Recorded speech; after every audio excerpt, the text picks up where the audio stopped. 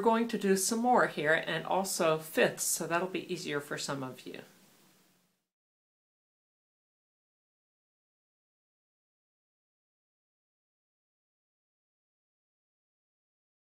Those of you who are just starting the harp may be more comfortable with fifths. And again, it's the same fifths, the A, the G, E, and D. That's what you're going to use, aged.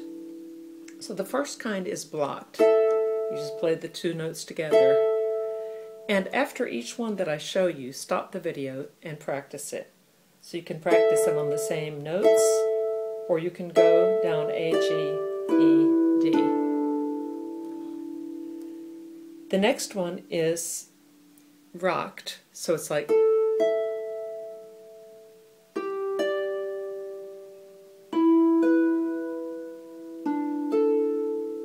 the video and practice that if I haven't done that yet.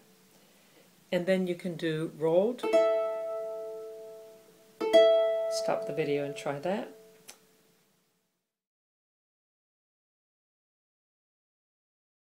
Play with. So I'm placing this. So I'm doing blocked, as you already did. I'm doing rocked. I'm doing um, pluck and pause. I don't know if I already did that. And pause. So you can stop the video if I haven't done that yet. And then you can do rolled. Stop the video and try that.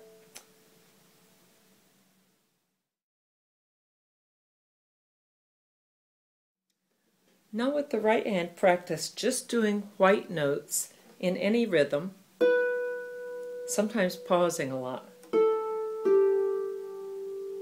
easiest way to practice this is just go down like a scale. So I'm going to start on a B, but go to an A and G, to an E. This is very relaxed. You're never doing something fast like that. So that's why you can just use one finger. I'm using my thumb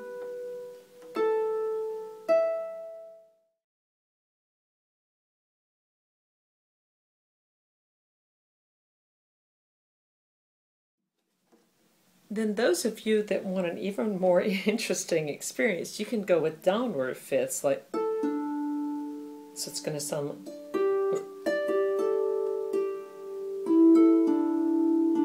I'm going to do upward.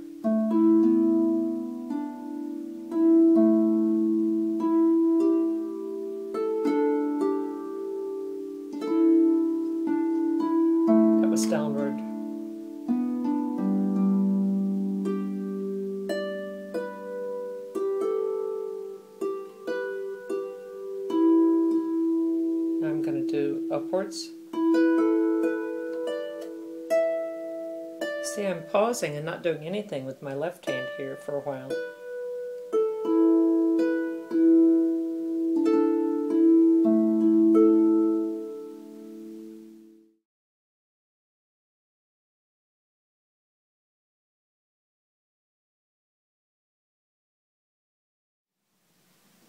So go ahead and try mixing those up in a little exercise. So,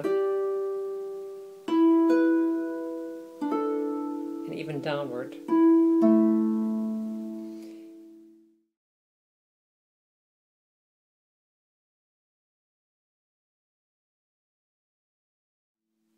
And now do some improv, again all on white strings. The chords are A, G, E, and D. Right hand is any white strings. A lot of ping-ponging back and forth. So just with fifths.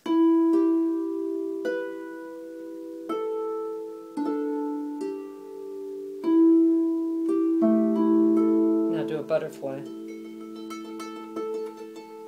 and a single string. Let's do a butterfly again.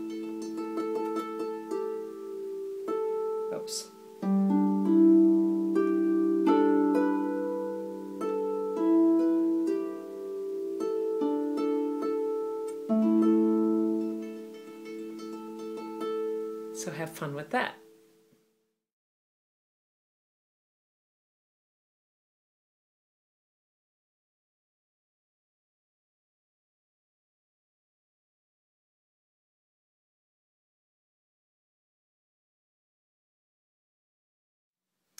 If you want to try something a little more racy and advanced, you can make your 1 5 8s go down. You can practice that on your own without any improv, and then you can practice it sandwiched with right hand angel finger.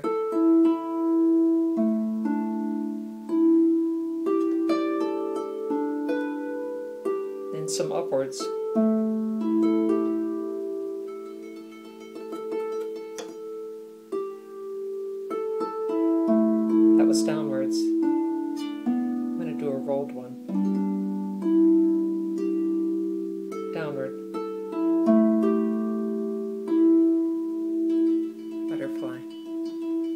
So the possibilities are endless.